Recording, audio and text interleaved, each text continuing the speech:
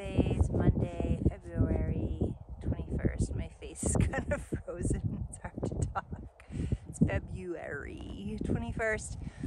Um, I wanted to share why you might be feeling super floaty, um, ungrounded, unfocused, just kind of like uh,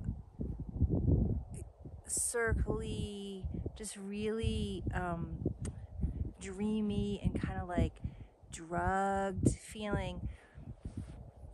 This weekend and into right now and into this week, there's an aspect of the earth shifting into higher frequency and we're moving like through the fourth dimension to get there into higher frequencies and this this feeling that you might be feeling is that fourth dimensional consciousness. It's really dreamy and just kind of weird.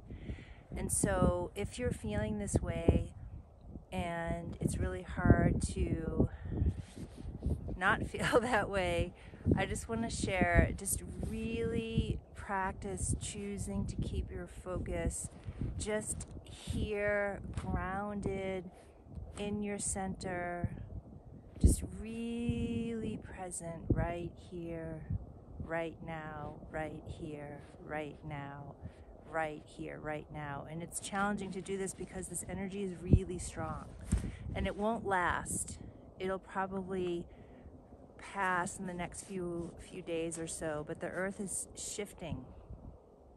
And it's just moving through the fourth into fifth, sixth, you know, and higher. And there's always different aspects of the earth that are shifting its consciousness. So we don't just shift once and we're done. We don't just go from the third to the fifth consciousness or third dimension to the fifth dimension like just once and we're just done. There's so many there's so many layers and just so many levels of consciousness within the earth that it's constantly shifting just like us when we go through changes. We don't just go through one change, right? We go through many. And so this weekend and this week the earth is is really shifting. And so right now we're just really feeling this kind of dreamy fourth dimensional consciousness as we move out of it. We're just kind of on our way. So just stay present, stay focused, here now, here now, whatever you can do. Focus on your breath, focus on your body, focus on your heart.